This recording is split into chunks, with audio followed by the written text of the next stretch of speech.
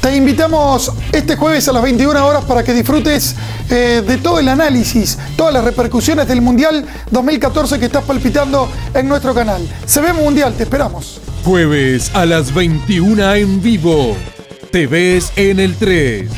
Nuestra televisión.